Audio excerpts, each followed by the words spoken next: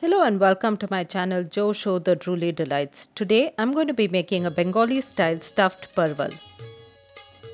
I'm going to be using about 250 grams of parval, a cup of soaked chana dal, a cup of tomato puree, 3 to 4 tablespoons of poppy cashew nut paste, about 3 to 4 tablespoons of coconut green chili ginger paste, a bay leaf, 2 tablespoons of dhania powder, a tablespoon of jeera powder, 2 tablespoons of garam masala powder, a teaspoon of turmeric powder, some salt to taste, about a teaspoon of sugar, 2 teaspoons of panchphoron spice mix, 2 green cardamoms, 3 cloves, a small piece of cinnamon, some desiccated coconut, some chopped coriander leaves and oil to shallow fry. You can find a detailed recipe in the description box below. First, I'm going to snip off the ends of the parval and peel the skin in alternate sections. This will help in retaining the shape of the parval when cooked and prevent it from getting mashed.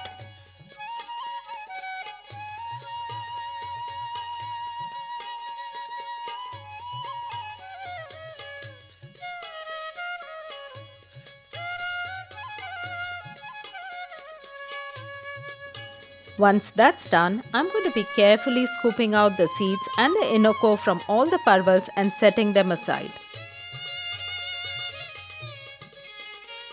Now I'm going to drain out all the water from the chana dal and add it to a mixer jar. To this, I'm going to be adding a little bit of the coriander leaves and some desiccated coconut. I'm going to grind this to a coarse paste. In a pan, I'm going to add a spoonful of oil and add a teaspoon of panchphoron spice to it. To this, I'm adding the ground chana dal. I'm going to add a teaspoon of dhania powder, half a teaspoon jeera powder, a teaspoon of garam masala powder, a pinch of turmeric, and some salt to taste. I'm going to cook this mixture till the chana dal is not sticky and well done. Now I'm going to add the remaining desiccated coconut powder to this and allow the mixture to cool.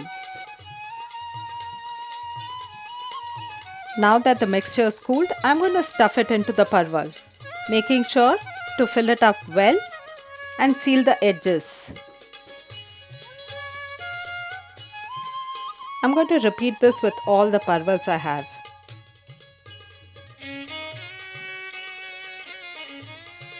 Now in a cooking pot, I'm going to take about 4 to 5 tablespoons of oil for shallow frying and drop in the parvals one by one into it.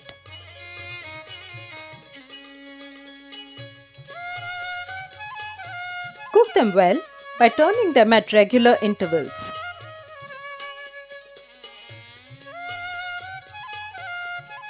I think I'm going to cook it with the lid on for about a couple of minutes. There, the parvals look done, so I'm going to take it out onto a plate. In the same pot in the remaining oil, I'm going to be adding the bay leaf, the green cardamom, the cloves, the cinnamon and leave it there for a moment. Then I'm going to add the panchphoron mix and allow all of them to splutter together, giving it a good mix. Now I'm going to be adding in my tomato puree and I'm going to cook it till the oil slightly separates. Now I'm going to add the salt and the remaining dry spices, the turmeric powder, the jeera powder, the dhania powder, the garam masala powder and sugar and I'm going to give it a quick mix. Now I'm going to add the coconut, green chili and ginger paste and mix it well and allow it to cook for another 2 to 3 minutes. The gravy is coming together beautifully.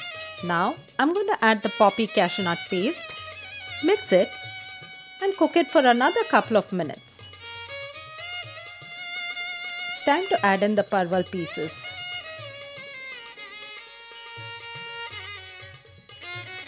I'm going to cover this and cook it for another 5 to 7 minutes. There, looks good and smells great. I'm adding the chopped coriander leaves, giving it a good mix and it's ready to serve. I hope you enjoyed watching this. And until I bring you something new yet again, don't forget to like, share, subscribe to my channel Jo Show The Drooly Delights and leave me a comment below.